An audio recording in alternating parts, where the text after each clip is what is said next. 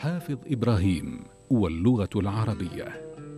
يعد حافظ إبراهيم من أشهر شعراء العصر الحديث وهو أحد رموز مدرسة الإحياء في الشعر العربي ولقب بشاعر النيل وشاعر الشعب.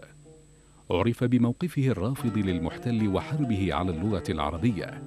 وكان خير مدافع ومنافح عن اللسان العربي فقال في قصيدته المشهورة رجعت لنفسي فاتهمت حصاتي وناديت قومي فاحتسبت حياتي رموني بعقم في الشباب وليتني أعقمت فلم أجزع لقول عداتي ولدت ولما لم أجد لعرائسي رجالا وأكفاء وأت بناتي وسعت كتاب الله لفظا وغاية.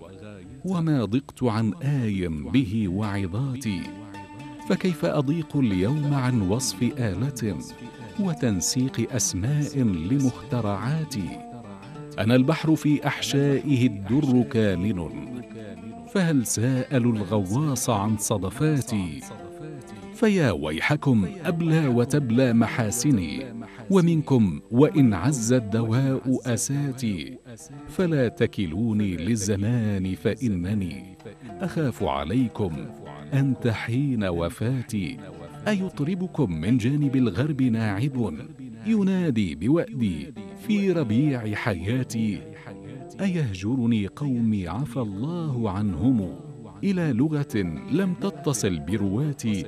سرت لوثة الإفرنج فيها كما سرى لعاب الأفاعي في مسيل فراتي